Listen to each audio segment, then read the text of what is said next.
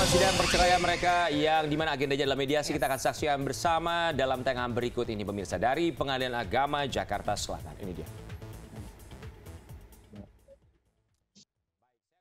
Bisa insert ini di Jakarta Selatan berlangsung sidang perceraian dan di belakang saya sudah para penunggu-penunggu. Saya akan mengajak pemirsa untuk mengecek ruangan sidang dan saja terlihat eh, beberapa pengacara dari lain dan saya juga sudah melihat Baim sudah hadir. Di pengadilan negeri Selatan dengan menggunakan outfit formal casual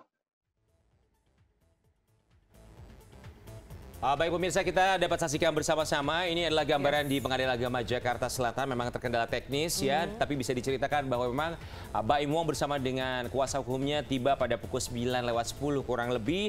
Dia tiba pertama sebelum kehadiran Paula Verhoeven dengan menggunakan jas berwarna biru kemudian juga kacamata.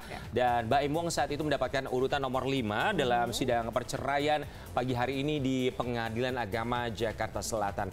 Memang kalau sampai dengan sekarang selepas Baim Wong mengutarakan apa isi hatinya bersama dengan kuasa hukum beberapa waktu yang lalu ketika sampai dengan sekarang kita juga belum menemukan feedback atau juga respon dari seorang Paula Verhoeven atas apa yang disampaikan oleh seorang Baim Wong. Tapi kalau kita lihat ya, mungkin dari kedua belah pihak, baik kakak Baim ataupun Paula Verhoeven, ini sepertinya agenda mediasinya mungkin dapat dikatakan tidak berjalan dengan baik karena respon yang diberikan oleh kedua belah pihak pada saat setelah melakukan agenda mediasi. Tapi ini kan yang memang kita tahu yang terekam pada saat setelah agenda mediasi. Kita tidak pernah tahu apa yang terjadi di dalamnya. Apakah memang ada kesatuan suara atau mungkin masih ada perdebatan antara mereka berdua yang pasti kita akan menunggu nanti bagaimana hasil mediasinya dari reporter kita Selin yang melaporkan langsung dari pengadilan. Pun ini masih sidang perdana di mana selepas sidang perdana ini juga masih akan ada sidang-sidang lainnya termasuk juga sidang kedua agendanya juga masih mediasi. Yes. Jadi tentu saja masih terus dicari jalan keluarnya seperti apa terlepas apa pun permasalahan dalam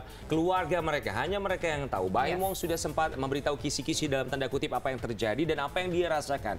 Paula sampai dengan sekarang masih irit berbicara, masih tidak memberitahu kepada kita apa sebenarnya alasan sampai ada gugatan cerai yang dilakukan oleh sang suami kepada Paula Verhoeven setelah enam tahun biduk rumah tangga mereka. Karena kalau kita lihat juga ya di sosial media, kakak Paula ini lebih banyak mengisyaratkan dari mungkin quotes-quotes atau mungkin momen-momen yang ada yang sepertinya ini adalah menandakan bahwa saat ini dari seorang Paula Verhoeven itu silent is gold. Jadi diam dan juga mengupload quotes-quotes adalah jalan ninja di tengah mungkin ya sang suami kakak Baim yang memilih jalan secara terang-terangan, melakukan press con dan lain-lain dan cukup menyebut- menyebutkan mungkin beberapa pihak yang akhirnya menjadi tanda tanya besar apakah memang nama-nama tersebut atau inisial-inisial yang disebutkan adalah salah satu pemantik memang perpisahan dari Baim dan juga Paula. Dan kami sekarang sedang eh, memperlihatkan kepada Anda kembali ini adalah situasi terkini dari Pengadilan Jakarta Selatan di mana mungkin em, kita masih melihat gitu ya di mana adanya Baim dan Paula dan suasana ruang tunggu pastinya kalau pengadilan ini ketika ada pasangan selebriti yang berpisah Iya. pasti ramainya akan sangat berbeda. Awak media